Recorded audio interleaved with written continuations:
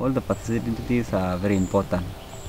From the clothes to to the shoes because the shoes again are very important again because there is some shoes which normally you cannot train with it in long run. But normally for us we can use even boost. Even you can use even in speed work.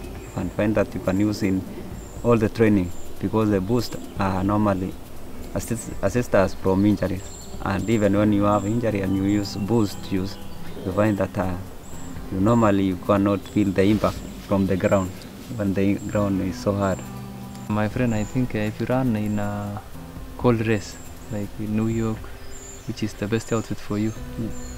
For me, actually, I use uh, uh, products provided as gloves. We have uh, very nice gloves that uh, can help you even in the wind. And when you sweat already, you find that your hands, you can touch the water in the table, you can take your drinks smoothly, and long gloves and a cape. Mostly for me, I use cape.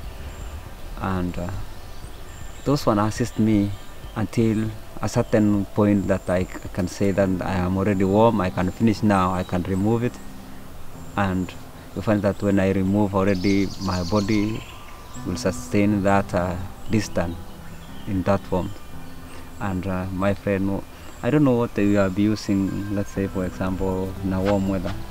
Yeah, for me, you find that uh, in a warm weather race, you find that uh, the conditions are very, very hot. And uh, what is very important is uh, I always put on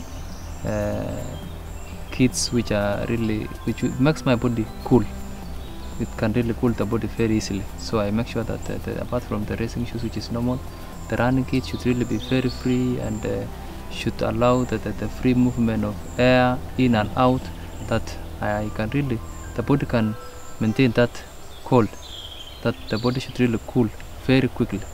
And that really makes me that uh, if I have that kind of running kits, it, you find that it really gives me going and going and going, cools the body very quickly, and that enables me to run uh, a very good race and a good time. Yeah.